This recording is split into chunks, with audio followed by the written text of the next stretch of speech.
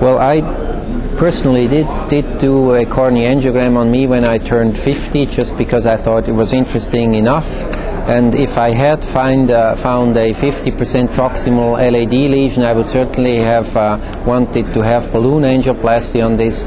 I would not have uh, wanted to have a stent inserted, but I would have uh, insisted on doing a balloon angioplasty on that lesion. I didn't have one, so that question didn't come up, but I was determined to do that in, if the case arose.